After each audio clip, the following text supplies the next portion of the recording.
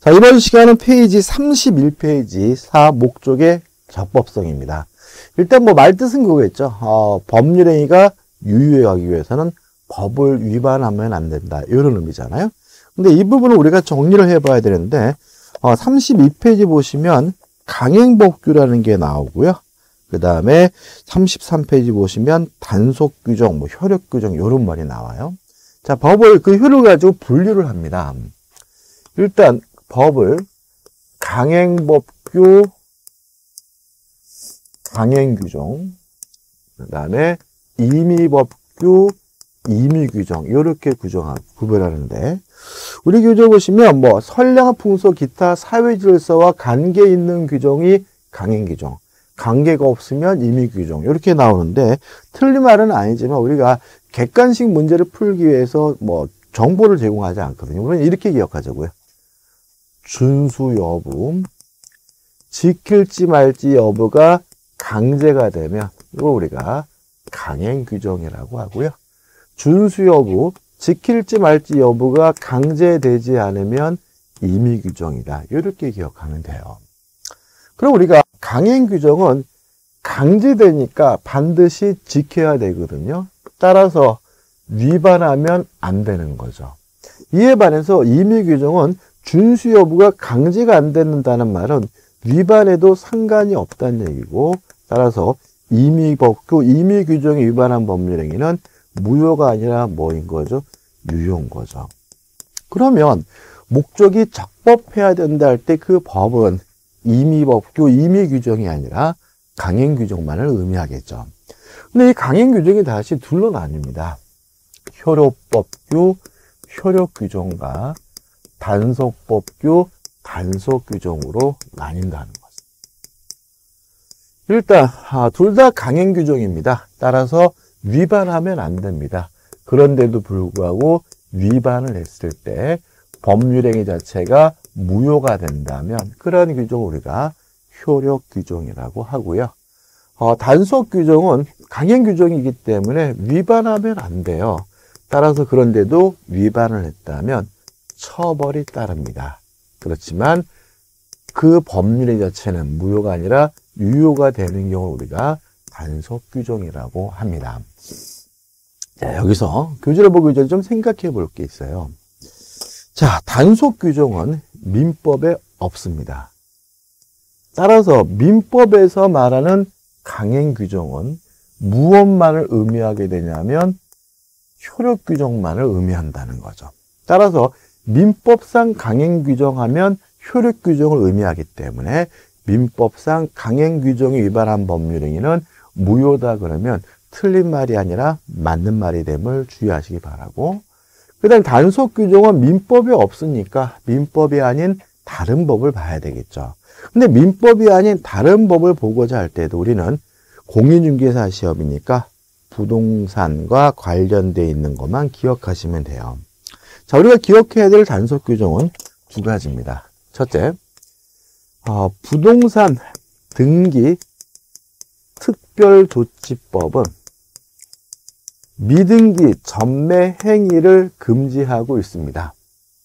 다만 이 미등기 전매 행위 금지 규정은 단속 규정이기 때문에 하다 걸리면 처벌은 받지만 그 행위의 결과인 중간 생략 등기는 무효가 아니라 유효라는 것이 우리 판례 입장입니다. 두 번째, 주택법입니다. 어, 주택법의 경우에는 주택법의 경우는 전매 행위를 금지하는 경우가 있어요. 예를 들어서 투기 지역 등으로 위반 투기 지역 등으로 지정된 경우에는 전매 행위가 금지되는 경우가 있는데 이 전매 행위를 금지하는 규정도 단속 규정이기 때문에 전매 행위가 금지되는 지역에서 전매 행위를 하면 처벌은 받지만 그 전매 행위 자체는 무효가 아니라 유효라는 것이 우리 판례 입장입니다. 일단 교재를 보고 좀 설명을 더 보자고요. 자, 교재 32페이지 보시면 1. 강행복규와 임의복규 개념이 나와 있죠. 자, 우리 교재는 어, 선량한 풍속 기타 사회 질서와 관련이 있는 규정은 강행 규정, 관련이 없는 규정은 임의 규정 이렇게 나와 있는데 우리는 수험적으로 객관식 문제를 풀기 위해서 준수 여부가 강제되면 강행 규정, 준수 여부가 강제되지 않으면 임의 규정이다. 이렇게 이해하시면 되고, 그 다음에 박스 밑에 1 이해가지고 민법상 강행 규정에 속하는 예가 나오잖아요. 기억, 권리 능력, 행위 능력, 법인 제도, 소멸 시도에 관한 규정은 강행 규정입니다. 그렇지만 시험 범위는 아닙니다. 니은번 대부분의 물권법 규정이죠. 어, 일단 유치권 예외는 빼버리고 자 물권법은 물권 법정주의가 지배되기 때문에 대부분의 물권법 규정은 강행 규정입니다. 디귿번 경제적 약자 보호 규정까지예요. 자 우리는 계약자의 원칙상 계약법의 대부분의 규정은 임의 규정입니다. 다만 임대차에 관한 규정은 강행 규정이고 그 이유는 임대차에 관한 규정은 약자 보호 규정이기 때문에 그럼 우리가 강행 규정으로서 기억할 것은 이렇게 기억하면 되겠죠. 물권법의 대부분의 규정은 강행 규정이다. 그 다음에 임대차 같은 약자 보호 규정도 강행 규정이다. 이 정도만 기억하시면 되고 구체적인 것은 우리가 해당 부분에서 보면 되겠죠. 3번 강행법규 유용해가지고 기억 효력 규정이 나와 있는데 교재 내용 안 읽어봐도 하고요. 잊지 말 것은 민법에서 말하는 강행 규정은 다 효력 규정이기 때문에 민법상 강행 규정이 위반한 법률행위는 무효다. 이렇게 기억하시면 되고 나머지 민법이 아닌 것들은 신경 쓰지 마시기 바라고 우측에 보시면 이제 뭐가 나오죠? 단속 규정 해가지고 A, B, C, D, E, F까지 나와 있는데 우리가 기억할 것은 B 중간 생략 등기를 금지하는 부동산 등기 특별조치법 규정. C. 주택법의 전매 금지 규정. B와 C만 기억하면 된다는 거 잊지 마시기 바라고. 따라서 중간 생략 등기는 뭐 한 거죠? 유효한 거죠. 그 다음에 전매 행위도 뭐죠? 유효다라는 거 기억해 두시면 되겠죠. 자, 34페이지 옵니다. 아, 탈법 행위가 나오는데 가입표입니다. 보실 필요가 없습니다. 우리는 강행목규 위반했으면 무효입니다. 그것이 뭐라면요. 효력 규정이라면 우회적이든 직접적이든 따질 필요 없이 이렇게 이해하면 돼요. 자, 그 다음 이제 5번에서 목적의 사회적 타당성이 나옵니다. 아, 일단, 음, 103조가 나오죠. 자, 103조. 34페이지 하단에 103조입니다. 선량한 풍속 기타 사회 질서에 위반한 사항을 내용으로 하는 법률에는 무효로 한다죠. 그래서 우리가 선량한 풍소 기타 사회 질서에 반했다 반사회적 법률행위는 무효다라고 우리 민법 103조가 규정을 두고 있는 거죠. 그러면 이제 뭐가 반사회적인지에 대해서 법에 규정이 있어야 되는데 법에 아무런 규정이 없기 때문에 결국은 무엇까지 공부해야 되죠? 판례까지 공부해야 됩니다. 일단 우리 교재 잠깐 보면은 35페이지 하단에 보시면 양가리 2번에서 민법 103조와 관련된 구체적 유용화 해가지고 정의 관념에 반하는 행위 넘겨보시면 이중매매가 나오고요. 또 37페이지부터 판례가 나오죠. 그 다음에 38페이지 보시면 일륜에 반하는 행위 그 다음에 계속 쭉 나옵니다. 그래서 굉장히 판례들이 많아요. 그러면 이 판례들을 다 외워야 되느냐 판례가 어디까지 나오고 있냐면 41페이지까지 나오니까 판례가 엄청 많이 나오거든요. 음, 그렇게 공부하면 공부하는 양이 너무 많아지고요. 또 교재에 나와 있는 판례가 나온다는 보장도 없기 때문에 우리가 이것을 유용화해야 되거든요. 그래서 유용하는 방식을 제가 개인적인 생각을 가지고 유용하는 것이 아니라 우리 판례를 가지고 유용할 거고요. 그게 어디 나오냐면 35페이지입니다. 35페이지 오시면 중간에 리을 번해가지고 민법 103조에 의하여 무효로 되는 반사회 질서 행위죠. 그래서 뭐가 반사회적인지에 대해 우리 판례가 유용하고 있습니다. 첫째, A입니다. A. 법률행위 목적인 권리 의무 내용이 선량한 풍속, 기타 사회 질서 위반되는 경우뿐만 아니죠. 그래서 이거를 우리가 이렇게 기억하자고요. 법률행위 목적, 법률행위의 내용 자체가 반사회적인 경우죠. 그 흔히 말하는 뭐죠? 나쁜 짓입니다. 그러니까 내용 자체가 사회 질서에 반한다는 말은 우리가 말하는 뭐 범죄 계약, 뭐 또는 뭐 첩계약, 그죠? 뭐 도박, 법정에서 허위로 증언하기를 한 경우 이런 것들은 뭐죠? 반사회적이고 이것이 사회 질서에 반하는지 안 하는지 여부가 헷갈리는 분들은 제가 도와드릴 필요가 없는 거죠. 그래서 대부분의 판례는 여기서 끝나요. 그래서 한 90% 이상이 여기서 끝나기 때문에 굳이 개별적으로 암기할 필요는 없어요. 근데 여기서 우리가 하나 기억할 것은 뭐냐면 형사 사건에서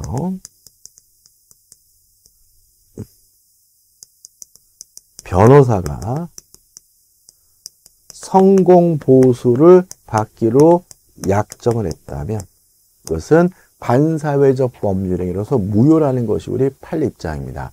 과거에는 어, 우리가 어, 형사사건에 대해서 변호사가 성공 보수를 받고 있었고 유효하다고 봤단 말이죠. 근데 2015년도에 우리 대법원에서 형사사건에 대해서 변호사가 성공 보수 약정을 했다면 그것은 반사회적 법률에서 무효라고 판시하고 있습니다.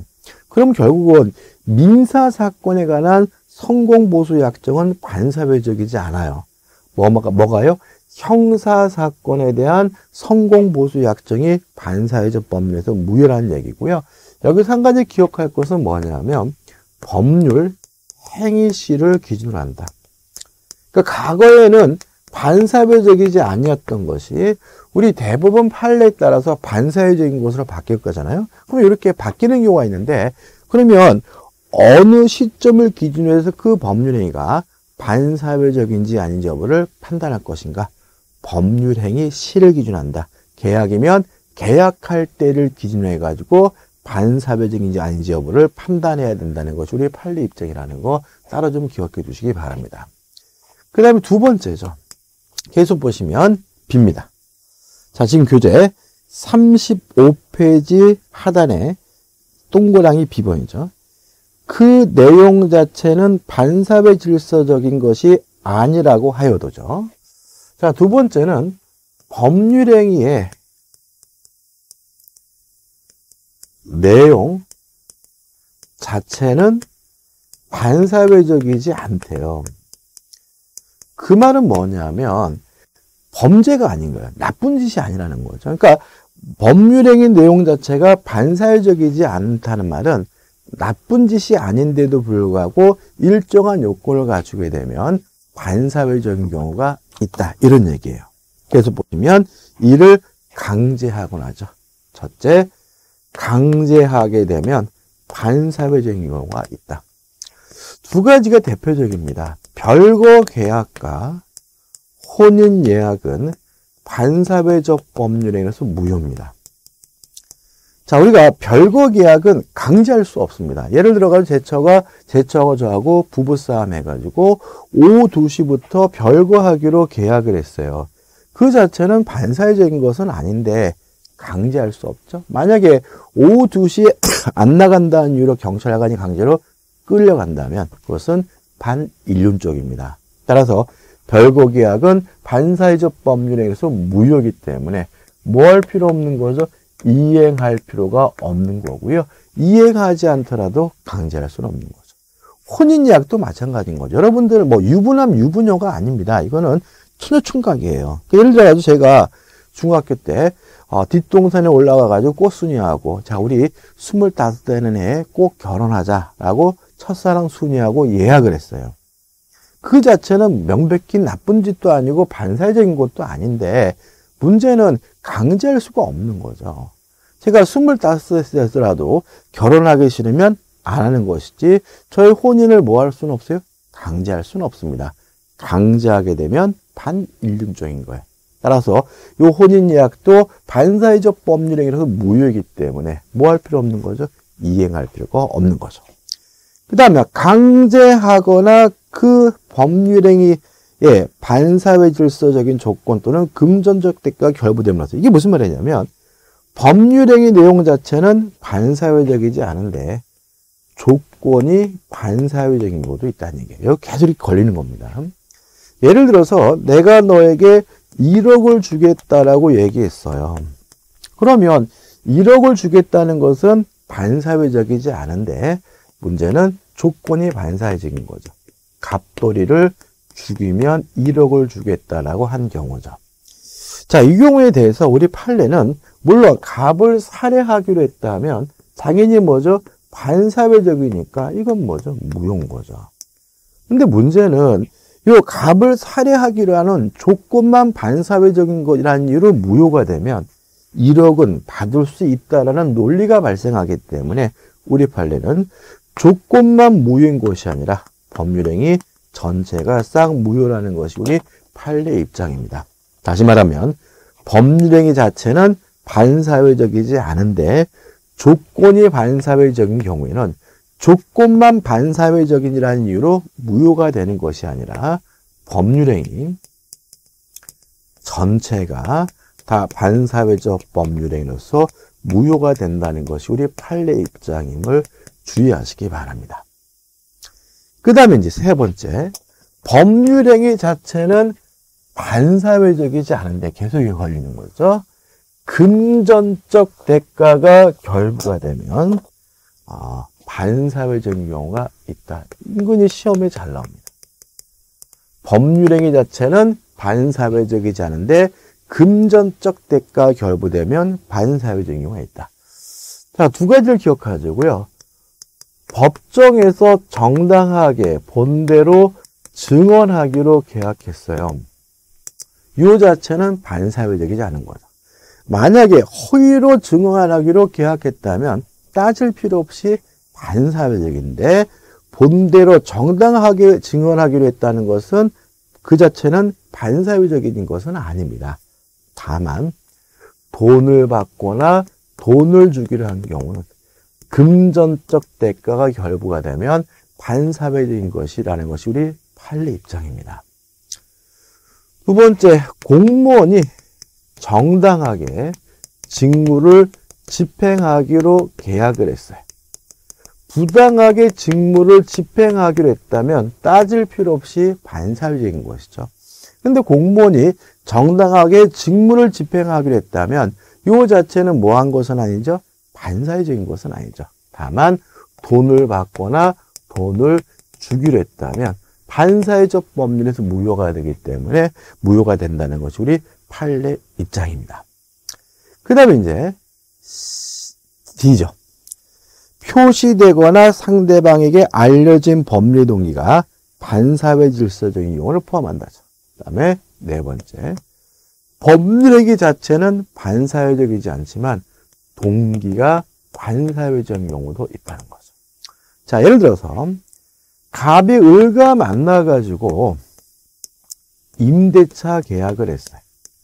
그럼 임대차 계약 자체는 반사회적이지 않은 거죠.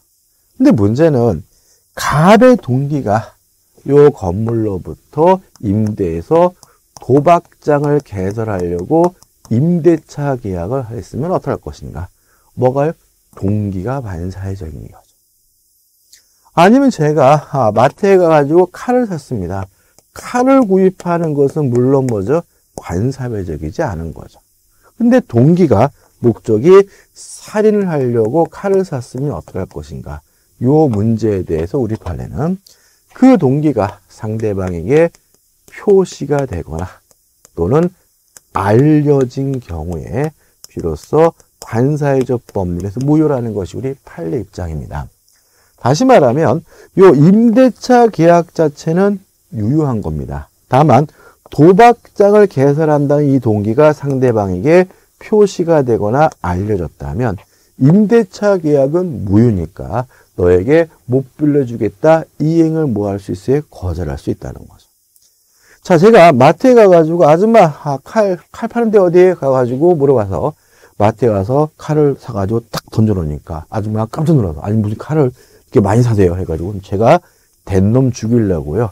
동기가 뭐가 됐어요? 표시가 됐으면 요 매매는 뭐죠? 무효니까 당신에게 칼 못 주겠다라고 뭐 할 수 있어요? 거부할 수 있는 거죠. 다시 말하면 동기가 반사회적인 경우에는 그 동기가 표시되거나 알려진 경우에 비로소 무효가 된다는 것이 우리 판례 입장입니다.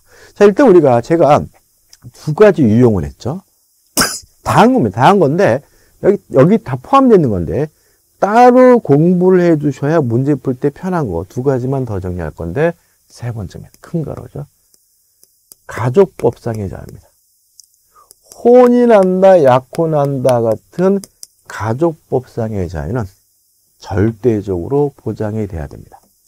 따라서 가족법상의 자유를 제한한다면 심하든 심하지 않든 따질 필요 없이 반사회적 법률행위로서 무효가 된다는 것이 우리 판례 입장입니다.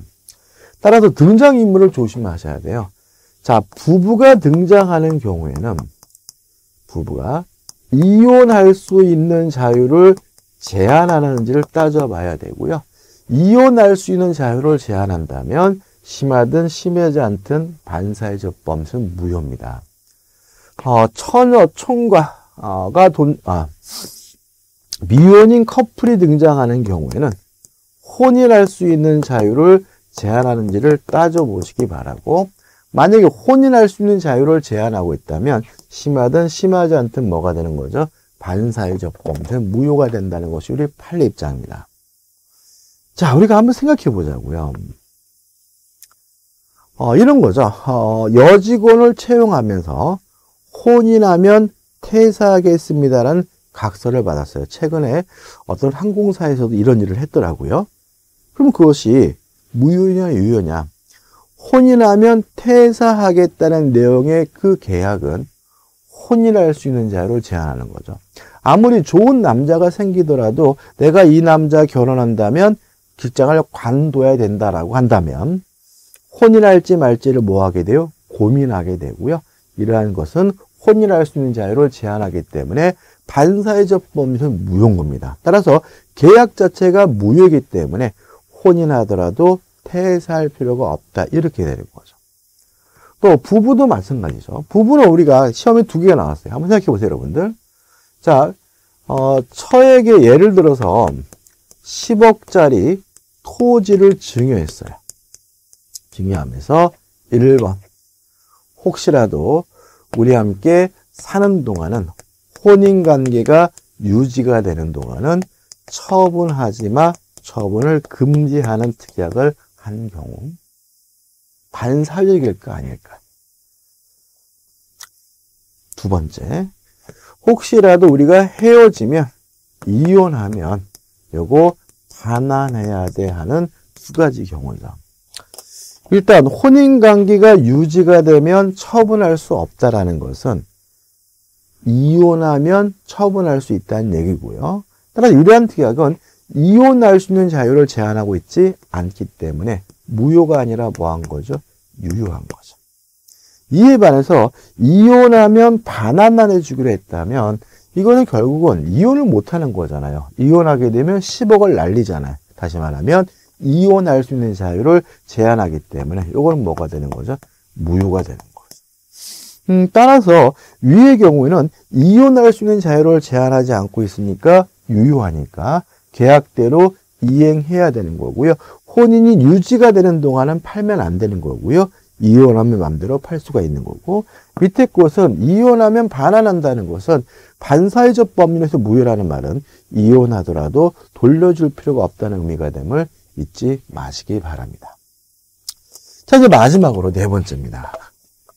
이거 가지고 논란이 많은데 자 우리 판례는 인간이면 당연히 하는 것으로 판단된다면 서로 그것이 나쁜 짓이라 하더라도 반사회적 법률행위는 아니라는 것이 우리 판례 입장입니다. 다시 말하면 우리가 봤을 때 흔히 말하는 나쁜 짓입니다. 그래서 어떤 특별법에 의해서 그 사람이 처벌을 받거나 법적 제재를 따질 수, 아, 받을 수는 있어요. 다른 법에서. 그렇지만 민법상 사회 질서에 반하는 것으로 보지는 않는다는 의미가 되는 거죠. 뭐가 있느냐? 첫째, 범죄 자금을 만들고 비자금을 만드는 것은 물론 반사회적이지만 이미 만들어 놓은 범죄 자금, 비자금을 단순히 은닉하는 행위는 숨기는 행위는 인간이면 당연히 하는 행동이기 때문에 반사회적이지는 않습니다. 숨기는 게 정상이라는 거죠. 물론 뭐 정치자금관리법 이런 법에 의해서 처벌받거나 그건 변론의 문제인 것이고 그 사법상의 효력은 무효가 아니라 뭐죠? 유효한 거예요.